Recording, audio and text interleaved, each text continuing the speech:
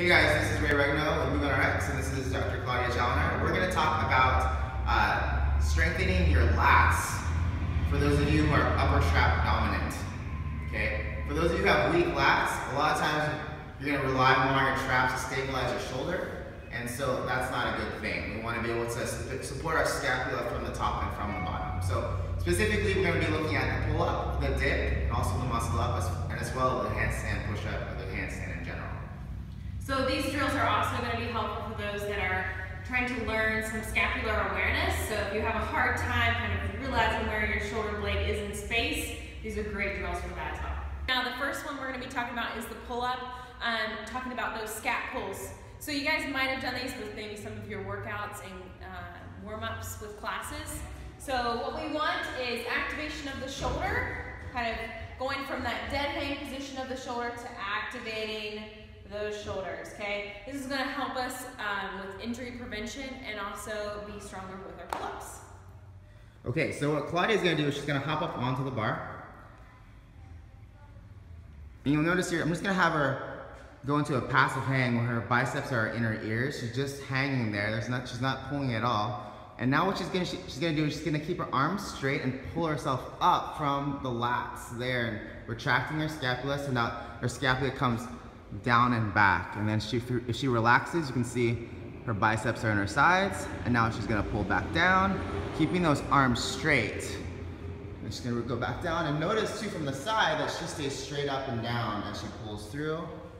What we don't wanna see is her pulling back and closing that shoulder angle. We wanna keep that shoulder as open as possible. Okay, so that's the first piece. So now we're gonna go into that dip slash muscle up position, um, talking about how to control your shoulder with that position and keep it healthy. Okay, so Claudia's gonna hop up on a box, and just to show you that she's not cheating, her feet are off the ground.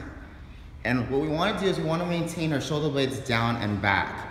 So from here, she's gonna keep her arms straight, and then she's gonna shrug her shoulders up, and what she's doing is she's elevating her scapula. And then she's gonna press back down to depress that scapula. And then she's gonna go back up again, or down again, and then back up again. Super important is that she's keeping these shoulder blades here pinned back. We don't want them to roll forward like that. That's an ugly position. Even worse if she were to do that in a dip. See how that shoulder head is rolling forward and front and the front looks kind of scary. See that? What we want to do is we want to pull those shoulder blades down and back and then let's show them the dip again. So that's a nice good position. Go into the ugly position. Yeah, not okay there. So pull the shoulder blades down and back. There, that's a much safer position for that dip. Okay? From another angle, showing you from the very front, from the front side, just gonna hop up there. Just gonna shrug your shoulders up, move straight down, and then just gonna depress the scapula. One more time, coming down. So this motion going upward is kind of relaxed. So I'm just allowing my shoulders to move upwards as far up as I can and then actively pressing through the boxes to get my shoulder blades down and back. The final thing we're going to look at is the handstand. What we see um, a lot in people who are trying to learn how to stand on their hands is that they don't press through the floor actively and that's how they start getting these icky positions upside down. And it's not very stable. So I'm going to take off my shirt and I'm going to show you what that looks like. Okay? Um, Woohoo! There you go.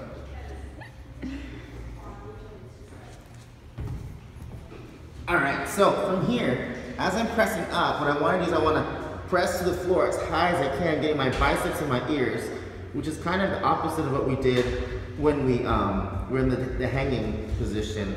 So the active position is pressing through, getting my biceps in my ears, and the relaxed position is falling through straight down to this position. This is not a stable position for the shoulder. So instead of being saggy here, we wanna elevate to the scapula, right there, pressing through the floor. Okay, one more time, I'm gonna come back down and then press through. All right, so we went through some different mobiliza mobilizations. No, we didn't do any No, we didn't do any mobilizations. We did, All right. we did drills. All right, drills. So we went through some drills to help you guys out with your dip, muscle up position, your pull up, and your handstand to be more stable with your shoulder and to bring some awareness to where your shoulder is in space and to get better results with those movements. So have fun with it, guys, and check back in again. See you next time.